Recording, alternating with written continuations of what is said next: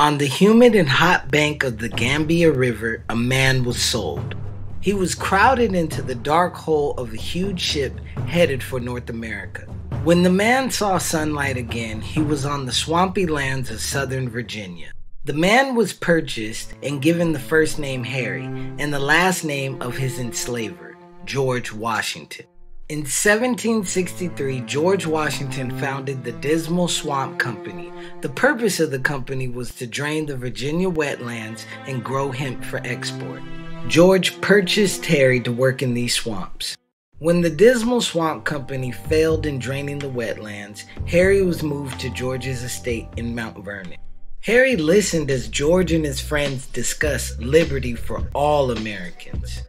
Harry watched as the American revolutionaries organized into an army. For freedom, the soldiers would yell. The enslaved people of Mount Vernon whispered amongst themselves, Does this mean freedom for us? Some would say, if it's liberty and justice for all, then this means us too. But Harry wasn't sure. He saw George buy more slaves. He heard George talk about purchasing even more slaves. We aren't going to be freed, Harry told the black Americans of Mount Vernon. That's not possible, exclaimed one woman. What about what Mr. Washington says about freedom and liberty? Even so, Harry said, it doesn't mean it's for us. Some of the other enslaved men agreed with Harry. They began to talk about running away. In 1775, the British Crown issued the proclamation if any slaves fight for England, they will be freed. A year later, Harry ran away and joined the Black Pioneers, an all black regiment that was part of the British artillery unit. Harry quickly rose through the ranks and became a corporal. George was furious that Harry and 18 others had run away. Although George was busy fighting the British, he still found time to hire a slave catcher. Harry was never caught, but it was a difficult life. Many of the black pioneers died of disease or in battle. At the end of the war, Harry found safe haven in the British zone of New York, where he awaited his fate. The Americans demanded the return of all slaves as part of the peace treaty. George insisted that the British return all of his slaves.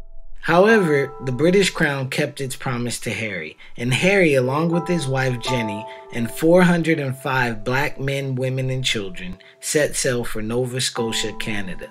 Unfortunately, Nova Scotia was not the promised land that Harry had hoped for. Instead, the white settlers horribly underpaid the black workers. The land was rocky and barren and difficult to cultivate. In 1791, Harry and his wife finally returned to Africa. The British Crown had colonies in Sierra Leone and promised the black settlers 20 acres for every man, 10 acres for every woman, and 5 acres for every child. Harry and his wife started their own farm, but their troubles were far from over.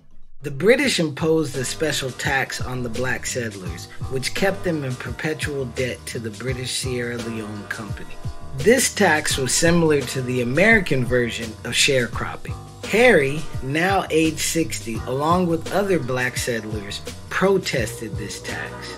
The protesters were arrested and charged with open and unprovoked rebellion.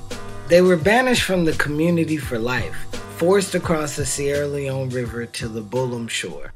This is where all written accounts of Harry Washington end. We hope that Harry finally found the freedom he was looking for and lived out his last days in peace.